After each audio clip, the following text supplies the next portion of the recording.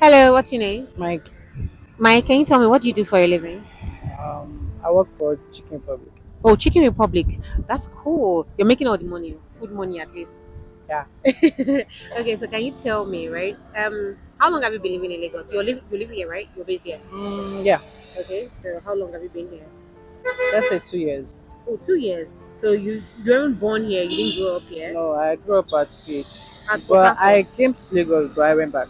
Oh, okay. So, but for now, you've been here for like two years. Yeah. Two years. Yeah. So tell me, if you have the opportunity to leave Lagos or stay, if I give you 10 million naira, just 10 million naira, would you stay or would you go? 10 million naira. Mhm. Mm, well, at first, I'll open a business for my mom. I'll stop Okay. it. I'll start up a business for my mom. Then I can still, if the money is not enough, I can still school in Nigeria. Yeah. Okay. So I, for uh, you, school is important. Yeah. Yeah. Then you start a business with my mom, mommy's boy. You already know them when you see them. Very calm and collected. Very nice. yeah Thank you but for very talking. stubborn. Hey, I want to say someone.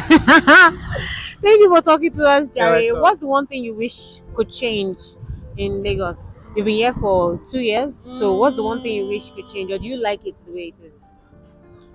Well, we just uh, we just have to adapt.